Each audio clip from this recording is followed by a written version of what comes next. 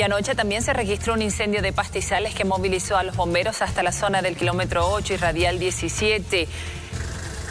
Una quema de basura habría originado las llamas que llegaron a descontrolarse por un momento, lo que alertó y alarmó a los vecinos que llamaron a los bomberos. Este lugar donde verificamos que existe un quema de pastizales, eh, en este lugar, presumiblemente que ha sido por, por algún transeúnte, trató de quemar la basura y ha extendido inmenso extensión de, de pastizales que afecta a los vecinos, al condominio, pero felizmente a la oportuna intervención se ha podido controlar y se ha extinguido el fuego. Sí, sí, puro pastizales, pastizales que afectan al cordón ecológico también.